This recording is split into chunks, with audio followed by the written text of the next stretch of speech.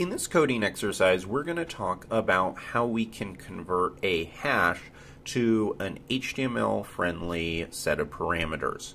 So if you go to Google and you type anything in, so if I type in something like baseball, then right up here you can see that my baseball search has actually been set to a set of parameters where Q is equal to baseball. And this is something that search engines do, but many other applications will do the same thing. And if you've taken any of my Rails courses, then you know that this is a pretty common thing in routing and giving the ability to set parameters.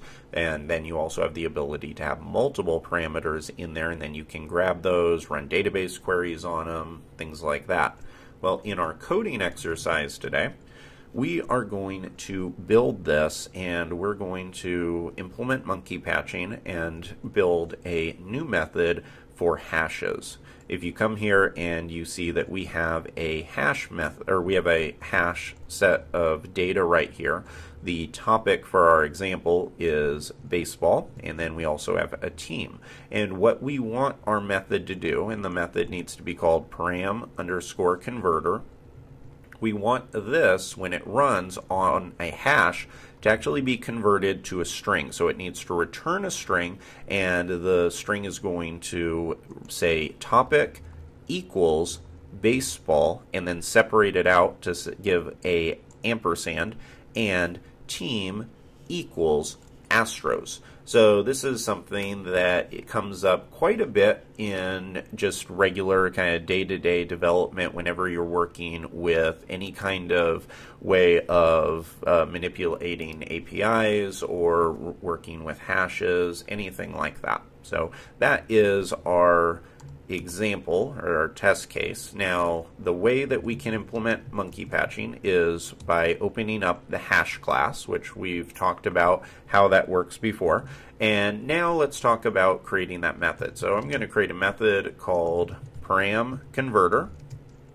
And inside of this, I'm going to first call self. So self is going to say, for this hash that this is being called on, perform these actions. And this is where we're going to call the map method.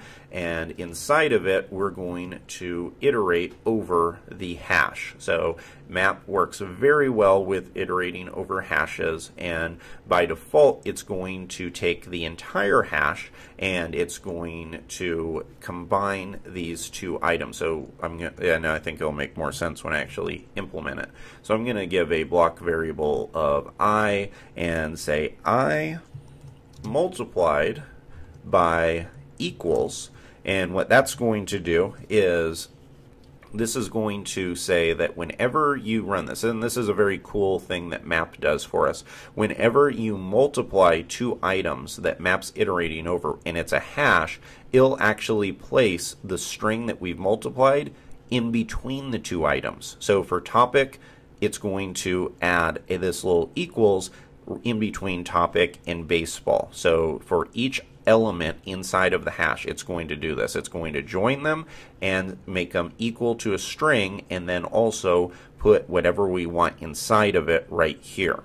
Now that is the first part, but then we also need to multiply all of this and put a ampersand in between that. And the way we can do that is actually with another multiplication and inside of it we're going to multiply a string and this is something that Ruby does very well where it allows you to take different data types such as a hash and then when you use other tools such as multiplication and some of these operators it'll actually take that and it'll allow you to do things such as combine those and it will return a string by default. And the reason why it knows that is because we're multiplying it by strings. So this is something that it's more of a convention in the way that Ruby's set up, but uh, once you get used to it, you'll discover that it's actually quite handy, especially for, for performing tasks like this. So let's test this out before we actually go and uh, run our test. So I have our hash right here, and now I should be able to call hash dot param converter. And if I run this code, it should equal what we're looking for. Yes, there it is. So here we have topic equals baseball with an ampersand of team equals Astros. And just to kind of review, because I know I went through that a little bit fast, what we're doing here is map is going to iterate over all the elements in the hash. When we send it to this block, I is going to combine the items by multiplying them and then putting a equals in between them. And then from there, we're multiplying all of the elements by an ampersand, which is going to combine them and put an ampersand right in between them. So this is something that's pretty handy whenever you're working with params, but it's also good to know that this is the behavior that Ruby has when working with the hash data type. I'm going to come down here and let get rid of these items.